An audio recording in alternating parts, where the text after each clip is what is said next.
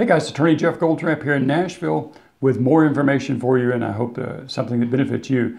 A question came up in my uh, in my office recently, so I wanted to share this, and maybe you've had a similar question.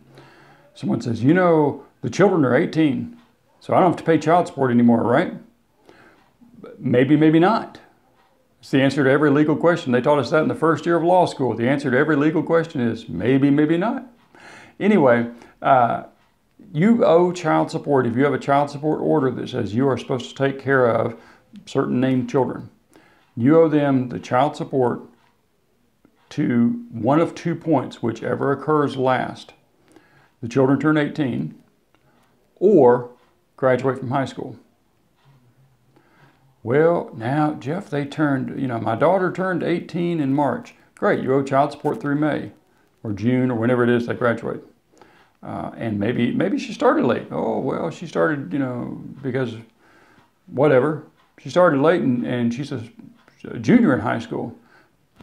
Yo child support on through her graduation. Uh, now she graduated in June and turned 18 in September. Okay, your obligation for child support ended in September. Now there's another question that comes up often after that. Why, you know, how does this magically happen? But you owe child support till the child is 18 or graduates high school, whichever occurs last. Okay? And you may be thinking, wow, I don't understand that. Okay, great. Ask a lawyer, ask me. Reach out on, on uh, send me a text, email, uh, messenger, get on Tennessee Legal Questions, ask me a question. It's a Facebook group.